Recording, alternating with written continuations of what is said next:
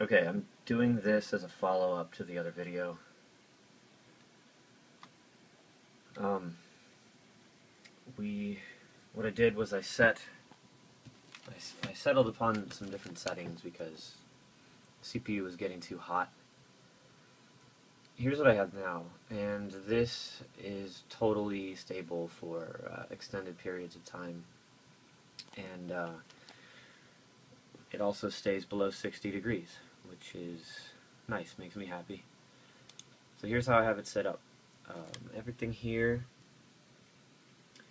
uh, is pretty much automatic, except here at the turbo core, I forced it enabled. Uh, found when I left it at auto for some reason it did not.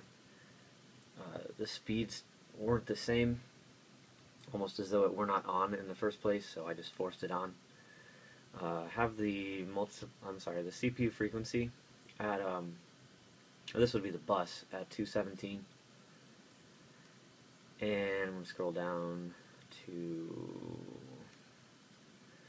everything else is at auto. You could pretty much just load the defaults for the BIOS and I set this, the RAM, at 1600 because by um, increasing the bus speed this goes over 1866 if I want to use 1866 so it's um, too fast. So I just set it at 1600 and the bus, the increase in the bus speed gives me this 1736 um, for the RAM. And everything else is the same on that page. So it's pretty much just defaults. And then set this to 217 this guy here and then I set the RAM and I forced the turbo core enable and uh, let's see, I believe that's it. I don't think I changed anything in here. Cool and quiet is still on, the turbo core is on. Now, uh, I haven't made any changes, so whatever, but you save those changes and exit. I'm going to show you guys the benefit to doing this, because you could just do what I did in the other video and you'll get all six cores running at 4 gigahertz. But when you try to do something single threaded, it's still 4 gigahertz. It won't go up to the 4.1 turbo. What I've got it at, it's um, forced at 3.8, so we're slightly under 4. But the good part about this is leaving the turbo core on enables those single threaded scores to go way above um, 4.1. So, okay, so here we can see um, all cores are running at 4.1, 4.1, 4.1, 4.1, and the turbo now takes it up to 4.4. You see that occasionally. Um, I like leaving the uh, cool and quiet on because when I'm not using the, the CPU, the thing idles at 1.5, and that's that's pretty cool. I like that. So what I'm going to do is just run the CPU test on this thing and keep an eye on the speeds. So it is at 3.8 3797 and it's going to stay there. You might see it jump around a little bit but uh, this is only 200 megahertz slower than my other overclock. The difference with these settings is that when I run a single threaded bench or if I do anything that requires single thread, the turbo core is going to jack that speed up, and it's going to go way past 4.1, which is good. So with these settings, I don't have a 4 gigahertz overclock on all six cores, but I do have an overclock to 3.8, and the turbo core will enable the single-threaded, um, you know, applications to go well above the stock turbo.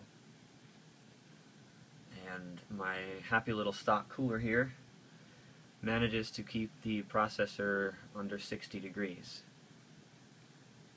which is good. So I'm not going to get that 5.17 or whatever it was in the other video but I am going to get close to 5 I think it's 4.92 4.86. Well, I've gotten a better score than that. Um, right here. I've gotten 4.93 with it. Same settings. Um, now, let me show you the other thing. I'm not going to save that. Hyper Pi is a pretty good test for choosing number of threads. So, if I set this to one processor, um, I'll set the priority to real time and uh, give it like 4 megs so I can have some time to show this. Okay, I've got it running on one thread.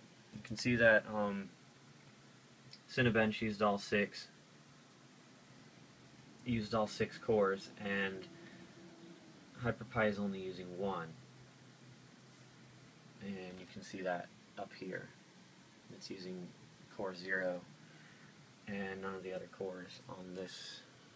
Most of the single threaded benchmarks I've seen on this system or at least not on this system but most of the single threaded benchmarks I've seen the single core performance jumps around between the cores it doesn't stay on one like this does so I think this is a pretty good um, way to test that now look at the speed